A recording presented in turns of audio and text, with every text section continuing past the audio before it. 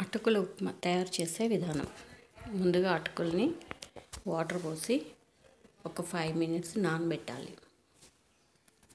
నానబెట్టుకున్న వాటర్ అంతా ఒక స్ట్రైనర్లో వంపేసుకొని పక్కన పెట్టుకోవాలి.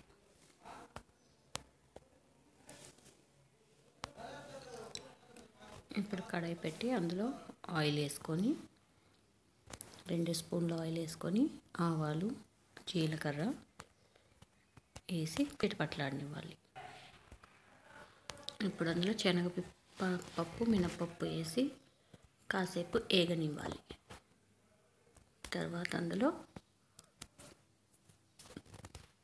పల్లీలు వేసి ఇంకొంచెం సేపు వేపాలి.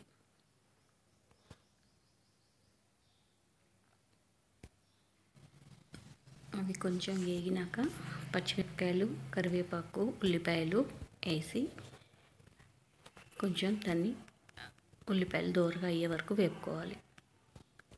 దీంట్లో కొంచెం ఉప్పు కూడా వేయాలి.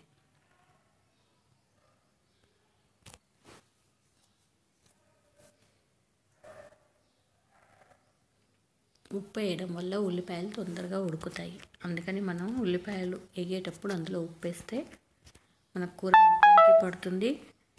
ప్లస్ ఉల్లిపాయలు తొందరగా ఉడుకుతాయి. ఇందులో చిటికెడు పసుపు వేసి ఒకసారి కలిపేసి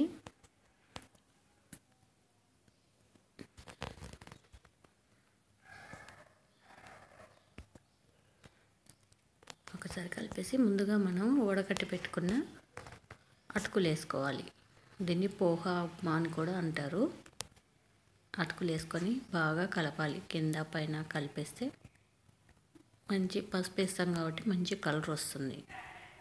ఇది వేడి వేడిగా తింటే చాలా బాగుంటుంది.